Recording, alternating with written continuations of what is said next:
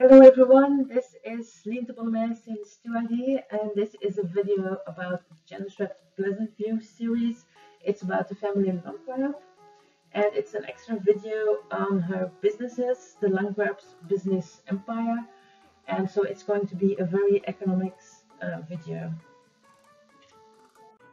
Mallory owns two businesses but she wants to expand. She owns Club Dante, an electronic supercenter and she's wondering, according to the numbers, which one uh, she can expand.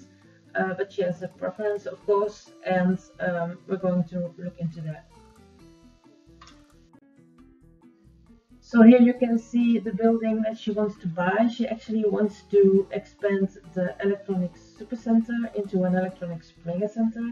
And um, now she is going to look into the figures, into the numbers, to know if she has to sell Club Dante or she can keep it or that she can um, sell both of them, Club Dante and Electronic Supercenter, so she can have one mega center uh, for electronics. Um, she anyway she needs money uh, to buy this one and to invest. Uh, she needs money to to invest in um, uh, more registers and more electronics before she can sell the electronics. So here are the numbers, the profit of the different businesses she already owns. She owns Club Dante and Electronics Supercenter and I think it's quite clear that um, it's best to sell Club Dante because the profit is really not that high uh, if you see it for a whole year compared to Electronics Supercenter. Um, there's hardly any profit for Club Dante and um, she'll probably need to sell it.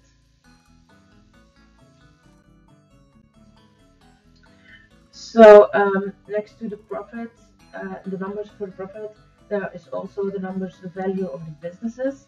And if you compare Club Dante and the Electronics Mega Center, then you see if she sells Club Dante, she can buy the Electronics Mega Center. But then she still needs money to um, buy the stuff, the electronics, uh, more register, more furniture to really expand her business. So uh, she's still thinking about uh, selling the electronics supercenter. So she's going to trade Club Dante for the electronics mega center. That's clearly the thing to do if you see these numbers.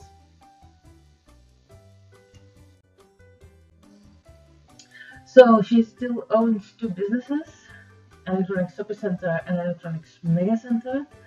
Now there's something cute about a supercenter, a small shop actually to be called supercenter.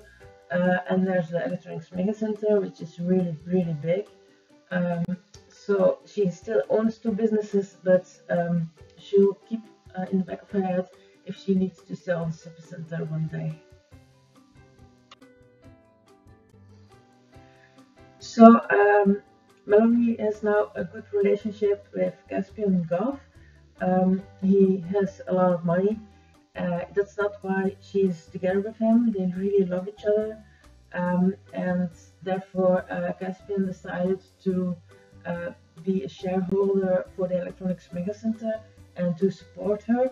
But Mallory uh, wants to wants to have the bigger piece of the pie because it's still her uh, business and she's going to expand it even though she's going to marry Caspian. Uh, that doesn't mean that he has a lot of say uh, when it's about the mega center. So uh, Caspian wants to help with investing in the mega center. Uh, even though it's a small part of the pie, it's something, and maybe it's the thing that Mallory needed to not have to sell the supercenter. That's for this video. Hopefully you enjoyed it. Make sure you follow me on my Facebook page, Sims 2 Idea, and visit my blog if you can. You see the links right here. And I'll see you in the next video.